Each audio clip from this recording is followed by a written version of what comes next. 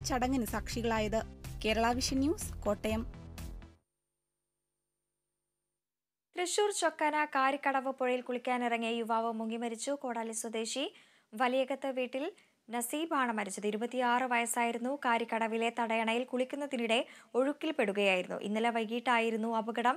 തടയണയിലെ concrete ഓവിനുള്ളിൽ കുടുങ്ങിയ യുവാവിനെ നാട്ടുകാർ ചേർന്ന് കയർ ഉപയോഗിച്ച് ഏറെ പണിപ്പെടുത്തിയ പെടുത്താണ് പുറത്തെടുത്തത്. വിവരമറിഞ്ഞ് പുതുക്കാട് നിന്ന് അഗ്നി രക്ഷാസേനയും വെള്ളികുളങ്ങര പോലീസും സ്ഥലത്തെത്തിയിരുന്നു. സൗദി അറേബ്യയിലായിരുന്നു നസീബ് മൂന്നാഴ്ച മുൻപാണ് കുടുംബസമേതം നാട്ടിലെത്തിയത്.